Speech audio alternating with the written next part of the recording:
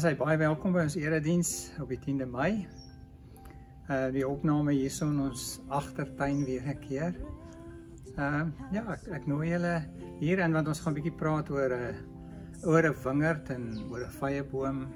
Ehm um, waaroor die teks eintlik gaan en dan gaan dit eintlik oor die tyd om die tyd waarin ons is reg te beoordeel. Uh so baie welkom dan by nog 'n digitale diens en uh, mag die Here vir ons so seën. Ek gee dan nou vir Peri uh om die wotum te doen en Henry om die afkondiginge te hanteer en ons gaan 'n lied sing en dan gaan ek die skriflesing doen. Baie dankie. Thank you.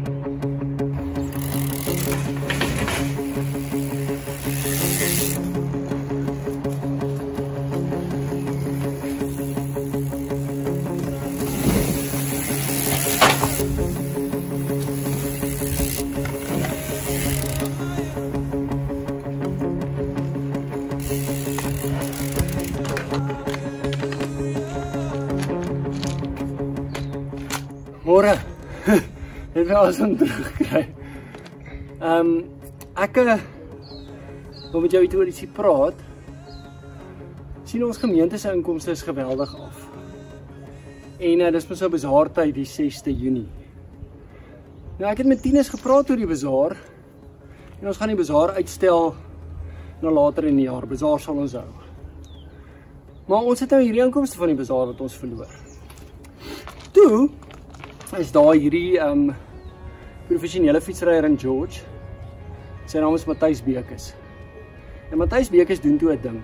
Baie respek so baie toe vir Matthys Bekes. Hy ry 24 uur lank om sy huis. En toe omdat hy 'n professionele fietsryer is, vat hy dit toe nou 'n entjie verder en hy ry 1000 km om sy huis. Um om geld in te samel vir mense wat help in hierdie tye en hy inspireer my toe. Hy hy inspireer my. So hierso is wat ek wil doen en dis wat ek gaan doen en dan gaan ek nou vir jou sê waar gaan jy inkom.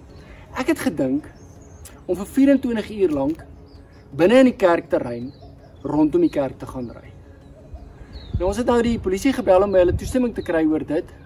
Hulle is nog so 'n bietjie taai, maar hulle sê behoort te kan werk en teen die 6de Junie wat nou die bazaar datum is, want dis wat ek want dis wanneer ek dit wil doen, die 6de Junie, dan uh, behoort ons daarom seker al in 'n ander vlak te wees en ons behoort uh, 100% toestemming te hê vir hierdie ding. So ek wil 24 uur lank binne in die kerkterrein om die kerk ry, so om die klipkerk en dan vooraf en dan weer om die kerk en dan so so so figure uit. En die droom is om 200 000 rand in te samel. 200 000 rand. So dis waar jy inkom. Wil jy nie asseblief 'n geldjie gee nie? Jy kan dit met SnapScan gee of jy kan 'n EFT doen. Ons noem die um ding Bazaar 24 uur fietsry. En dis so 'n voorloper vir die bazaar. Um ons gaan nog weer met jou hieroor praat en ek is opgewonde daaroor. O ja. Dat jy tog aan my dink hoor want ek hoop ek gaan dit maak want 24 uur is vrek lank. Ons begin 12 uur die middag deur 12 uur die nag tot 12 uur die volgende middag reg deur. dit gaan dit gaan 'n taai toffie wees, maar maar ons ons ons ons ons doen dit vir die vir die Here en vir die werk van die Here. Ekskuus. Nog 'n ding wat ek graag wou sê is dat baie dankie vir almal wat bygedra het vir die kosboks projek. Ons kan nou regtig waar vir mense kos gee en die kerk se werk doen, maar die ding is, julle die skip moet seil. Die salarisse moet betaal word. Die werk moet gedoen word. Die kerk moet in stand gehou word. So as ons nie as ons nie die die die die die die die skip, die goue, die gaans wat die goue eiers lê gaan oppas nie, dan gaan ons op die ouend met niks sit nie. So so dis waar hierdie ding vandaan kom. So hierdie ding gaan vir die kerkkas. Dankie. Goeiemôre. Um, ek het net nog so afkondigingkie en dit is dat ons toestemming gekry om die kerkkantoor oop te maak, maar julle moet nou mooi luister of hoor. en dit is dat uh um, ons maar jy, jy, ons mag ons aan die kerkkantoor toe gaan nie. Maar Corneille en Esther gaan een dag in die week op 'n Woensdag gaan hulle daar wees. So jy kan hulle uh, telefonies kontak of so. Ons gaan ook ons beste probeer om die foon te daai woord deur na Corneille se nommer toe sodat jy kan kontak maak met haar. En dan ehm um, so uh die kerkkantoor gaan daar eendag ook wees. Goeiemôre hier vanuit my huis na jou huis vanoggend sê vir die mense ook hallo Boetie. Ek hoop dat vandag se erediens vir jou 'n goeie ervaring sal wees waar jy is ook. Die woorde waarmee ek julle wil groet vanoggend is die van Psalm 102 daar uit vers 13 en 14. Gaan ons saam bid, Boeta? Kyk, kom ons maak ons oë gestuur dan bid ons saam. U Here, U heers vir altyd. U is daar van geslag tot geslag. U sal ingryp en U oor Sion ontferm. Want die bestemde tyd het aangebreek. Die tyd om hom genadig te wees. Amen. Amen.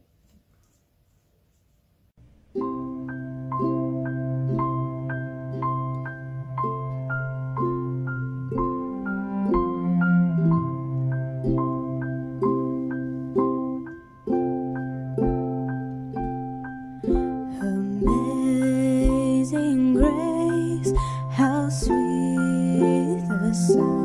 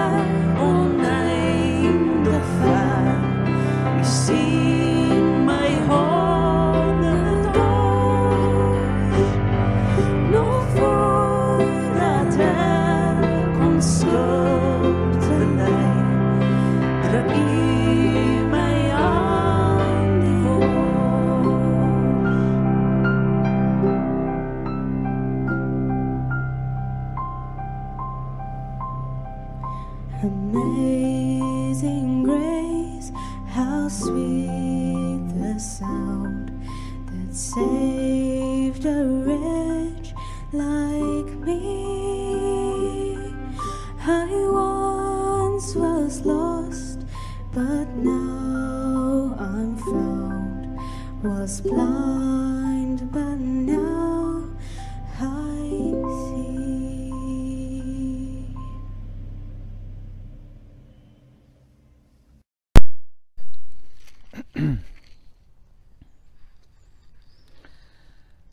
Ek gaan vandag na die evangelie van Lukas toe gaan. As julle dalk so intoe wil blaai, is julle welkom.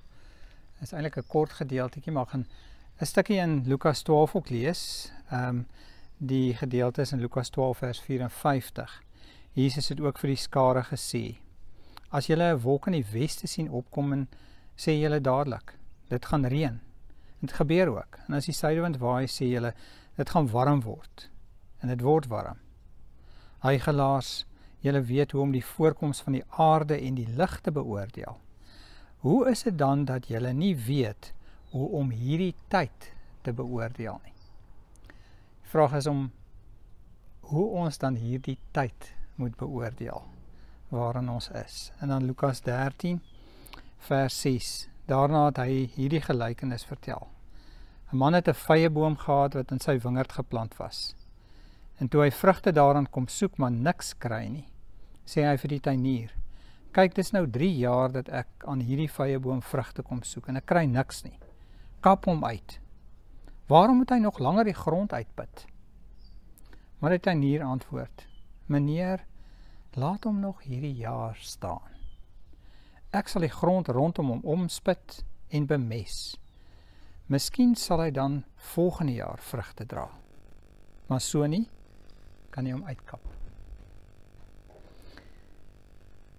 Ons gaan nou eers luister na hoe uh Iris vandag, nie Bart nie, Bart se maatjie Iris vir ons iets van hierdie teks interpreteer. Kom ons luister daarna.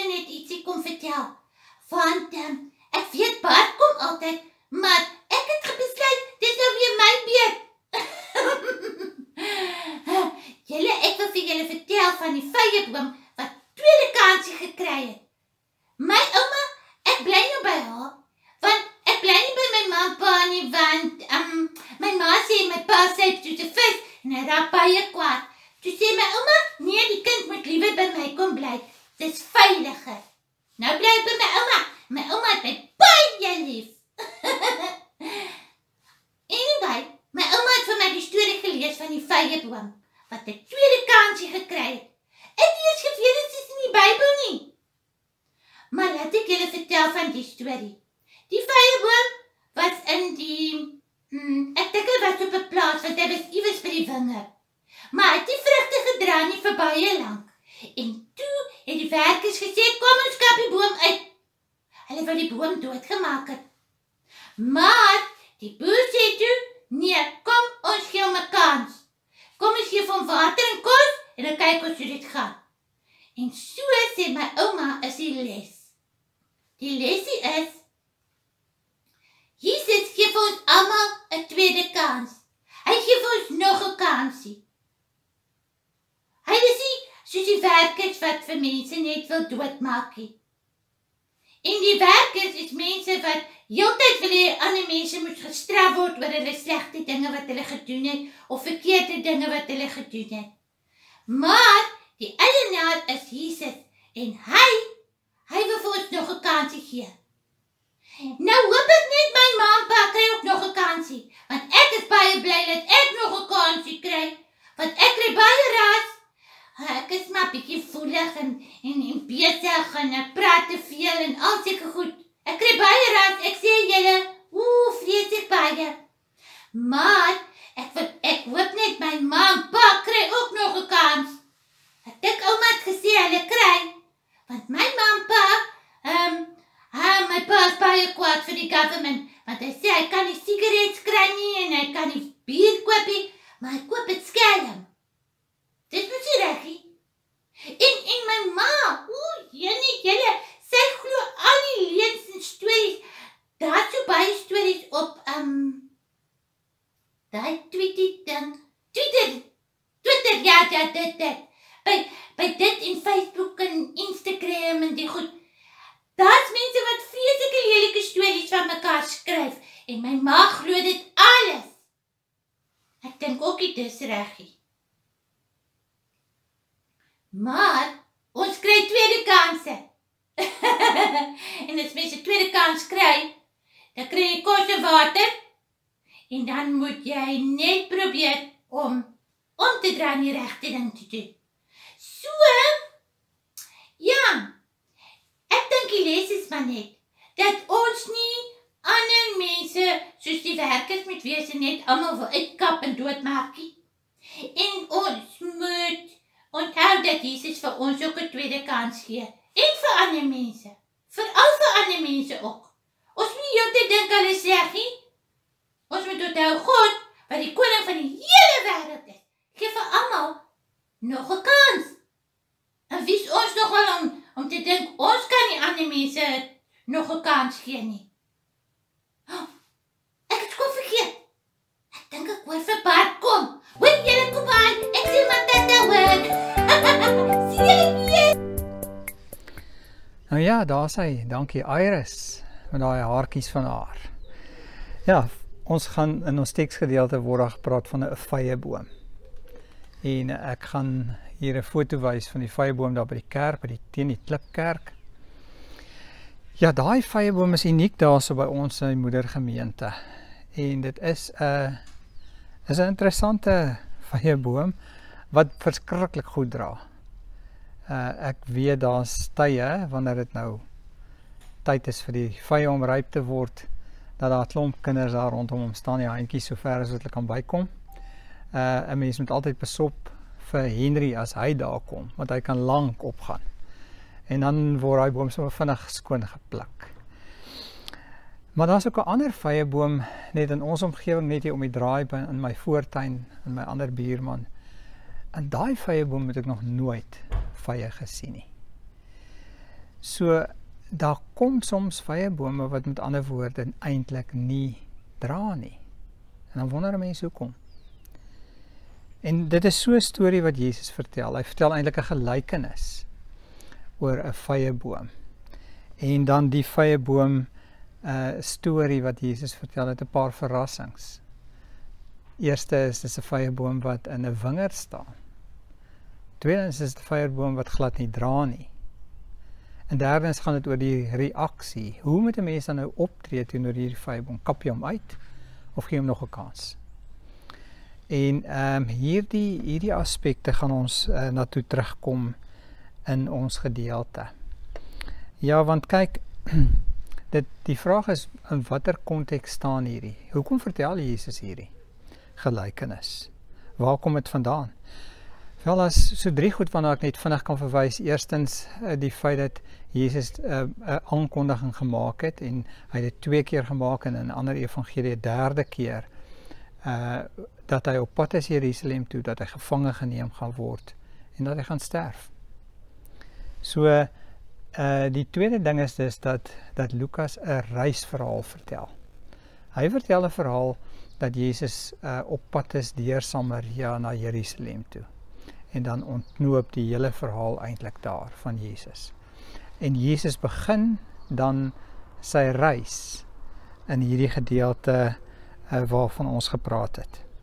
En dan is daar ook ehm um, deur sy reis 'n uh, 'n uh, gedeelte wat ons lees in Lukas 9 vers 51 tot 55 waar Jesus hulle dan deur die Samaritaanse dorpie gaan. Nou ons weet nou van die Samaritane dat ehm um, hulle omtrent 700 jaar voor hierdie gedeelte geskryf was dat hulle weggevoer is Assirië toe, dat hulle vermeng geraak het. Dis 'n gemengde ras. Ehm um, hulle het hulle godsdiens ook laat vermeng. Hulle het hulle eie tempel gehad in Gerizim. So die Jode het hulle eintlik verag en gesien as onrein. Hulle wou eintlik deur Samaria nie. Samaritane wou eintlik niks weet van hulle nie. Maar Jesus gaan dan deur Samaria. En die eerste dorpie waar hy kom, wil hom nie verwelkom nie. Hy wil hom nie gasvry ontvang nie. En dan is dit die twee disippels van die donder, dit is Jakobus en Johannes wat sê: "Here, uh, kan ons nou vuur uit die hemel uit afbid en laat hierdie dorp vernietig word?" Hulle wil hierdie mense wegvee voor hulle, uitwis. En dan sê Jesus: "Nee. Dis nie wat ons moet doen nie."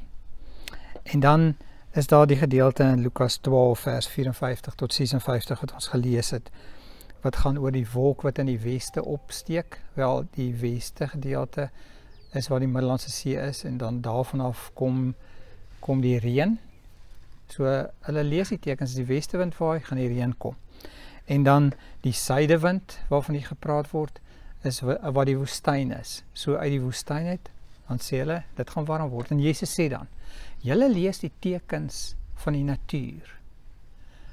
Maar hoe is dit dan dat julle die tekens van die tyd die tyd waarin hy gekom het, die tyd van die koninkryk van God, dat julle dit nie reg lees nie?"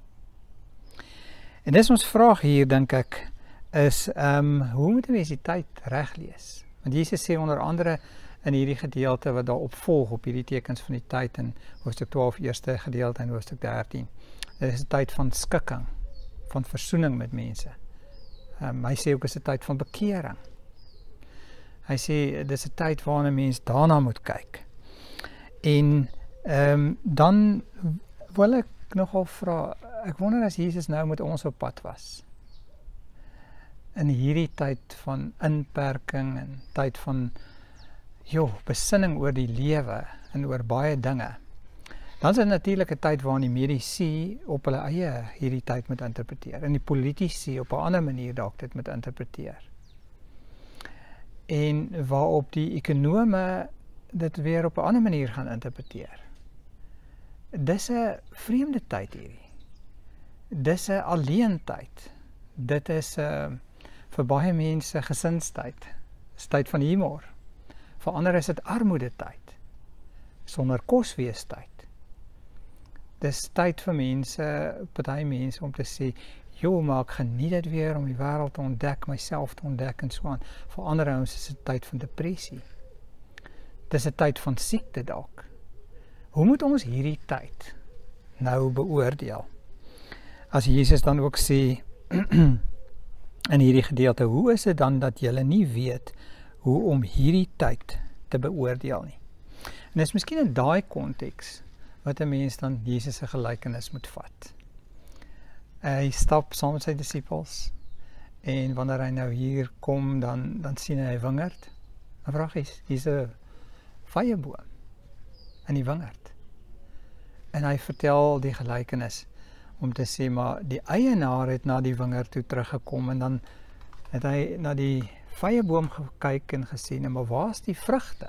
Waar's die vye?" Hy kom soek elke nou en dan die die gedeelte wil eintlik vir ons laat verstaan hy nogal gereeld gekom om te kom kyk of daar vye aan is en elke keer kry hy niks. Daar's geen produksie nie. Daar's niks vye nie. En ehm um, dan sou mens eintlik nou moet vra maar jy weet wat wat gaan hier aan? Eerste plek die feit dat 'n vyeboom uh in 'n wingerd staan. Hoekom sou 'n vyeboom in 'n wingerd staan? Wel, die een logiese verklaring is Jesus wil eintlik sê maar dit pas glad nie. Dis byna soos soos hy stap deur Samaria en die die Samaritane pas eintlik nie in die koninkryk van God nie of in die in die Joodse volk nie. Ons wil hulle eintlik nie hê nie. Ons wil hulle wegvat soos Jakobus en Johannes. Ons wil hulle uitwis. Ons wil vuur op hulle afkry. Eh, dis amper soos ons wat baie keer mense net eenvoudig wil wegskuif. Dit pas glad nie. Uh ander mense sê wel daar was soms vrye bome in wingerd ook gewees. Maar miskien is dit tog hierdie ding van dit pas eintlik nie. En tweedens, die feit dat hierdie vyeboom sonder vrugte is en dis eintlik nutteloos is, van geen waarde is nie. En dan is die derde vraag rondom die reaksie Jesus lok ons in om te sê, maar hoe moet ons nou reageer? Die eienaar sê, kap hom uit. Kap hom uit, vat hom weg. Hy's nutteloos. Maar die tuinier sê, gee hom nog 'n bietjie kans. Ehm um, Hy sê dit eintlik op 'n baie interessante manier. Hy sê meneer, laat hom nog hierdie jaar staan. Ek sal die grond rondom hom omspit en bemes. Miskien sal hy volgende jaar vrugte dra. Wat sit hier agter? Die tuinier se reaksie. En ek hou van Eugene Peterson se verklaring van hierdie gedeelte. Hy skryf daaroor om te sê hierdie storie, hy noem dit in Engels the manure a parable is is was his favorite parable. Hy sê hierdie oor die bemesting. Bemesting ehm um, sou mens ook dan kan vertaal met in Engels word dan vertaal met manure of dung. Dis eintlik of skaapmis of beesmis. Dis weggooi goed. Stink. Ehm um, so so wat wat het die storie dan nou daarmee te doen? En dan kom Eugene Peterson en sê die feit dat die tuinier hier inkom en sê laat hom nog 'n bietjie staan. Ek gaan omspit en ek gaan hom bemes. Sê iets interessants. Hy sê kyk, ehm um, dit is eintlik so dat eh uh, hierdie gedeelte vir ons sê moenie moenie haastig ingryp en en maak wat jy wil en mense afskryf en veroordeel in een kant toe skuif nie. Hy sê gee 'n bietjie kans, laat hom 'n bietjie staan. Staan jy 'n bietjie terug. Dis gee God 'n bietjie kans. Dis tyd om jou hande af te hou en en in deur middel van hierdie eenvoudige ding soos bemesting ehm um, vir 'n vyeboom kans te gee dat God kan werk. Dis die stadige pad. Dis die pad van geduldig wees met wat God gaan doen. Want God werk ook met kompos. Met garbage, met dooie verwerplike goed. En tog is in die bemesting is daar ongelooflik baie mikroorganismes wat nodig is vir nuwe lewe. Dis hierdie dooie, sogenaamd dooie bemesting waarin daar eintlik ensieme en minerale en voedingsstowwe en energiebronne is. Dit wat nodig is vir die opstaan van nuwe lewe. Maar jy moet wag vir God. Jy kan omspit en so aan. Maar dan moet jy geduldig wees. Gee hom nog 'n jaar kans. Want in hierdie jaar kan God deur middel van hierdie bemesting stadig werk en op 'n manier iets anders na vore bring. Eugene Peterson werk ook met hierdie twee dinge, reaksies: kap hom uit of laat hom staan. Hy sê die kap hom uit is eintlik hands off, cool it, leave it alone. Ehm um, dis eintlik hierdie reaksie wat ons vinnig goeters wil hanteer. Ehm um, ekskuus tog kap hom uit wil eintlik liewerster iets anderster sê, wil sê hanteer dit vinnig, vis hom uit. Hy sê dit is eintlik ook 'n woord wat ons kan toepas op Christus, want Christus sou hiervandaan Jerusalem toe gaan en die Jode sal hom eintlik uitkap en mense sou sê kruisig hom. En die kruisiging en wegvat voor die mense en voor God was eintlik om hom uit te kap. Aan die ander kant sê hy die woordjie eh, laat hom nog bietjie staan is 'n Griekse woord wat genoem word afes. Afes is hands off. Um cool it, leave it alone. Maar met betrekking tot sonde en skuld kan hierdie woordjie afes ook gesien word as 'n woord wat eintlik juis gebruik word wanneer mense sê vergewe. Vrygespreek. Dis byvoorbeeld die woord wat Jesus ons leer as hy vir ons sê uh julle moet bid Vader vergeef ons ons skulde. Dis ook dieselfde woord wat Jesus gebruik wanneer hy aan die kruis is en sê Vader vergeef hulle want hulle weet nie wat hulle doen nie. Laat hom staan. Vergeef hom. Gee hom nog 'n kans.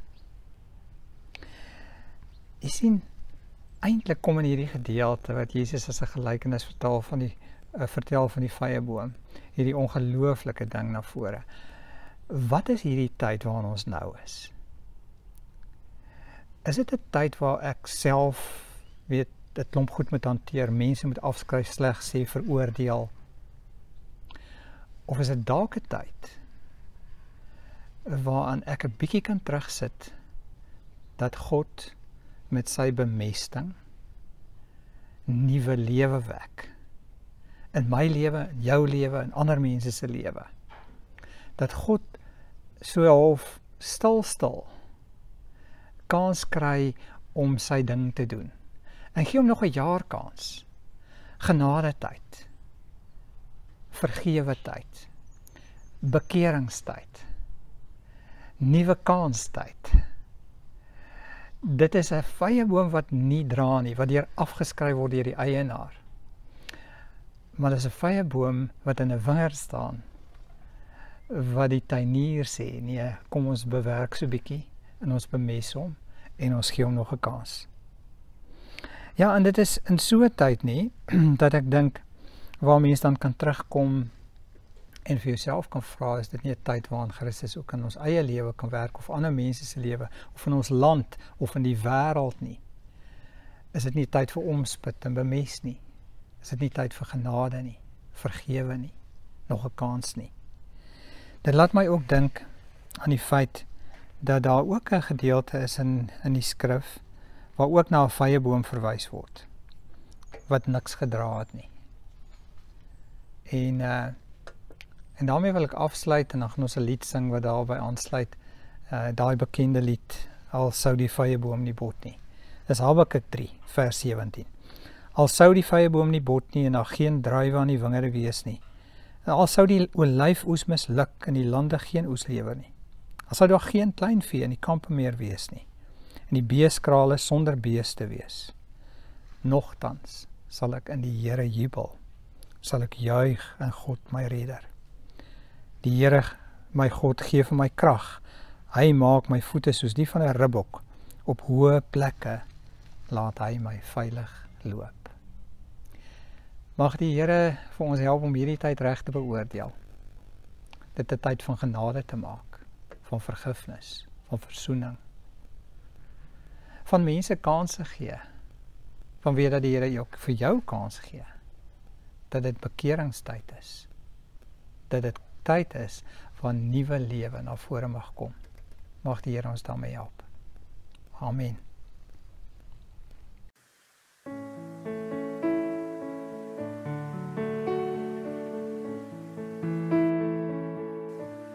Also dan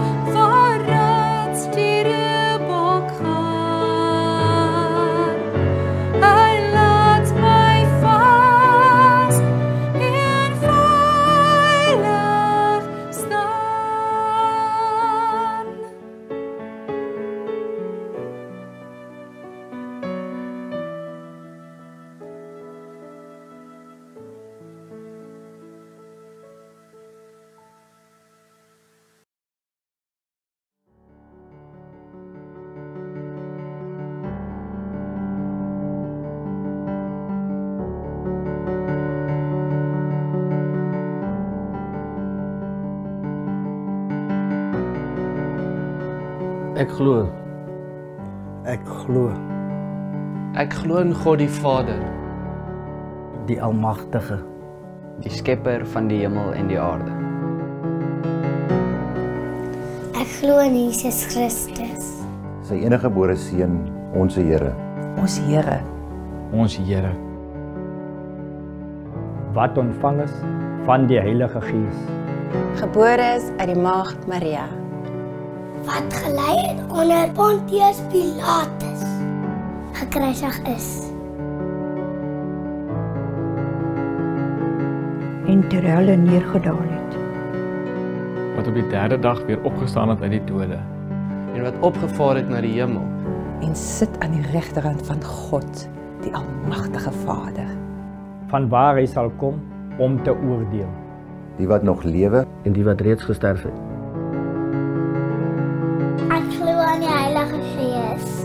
Ek glo aan 'n heilige algemene Christelike kerk. die gemeenskap van die heiliges, Die vergifnis van sondes. Ons te, te vrees en 'n ewige lewe. Amen. Amen. Amen.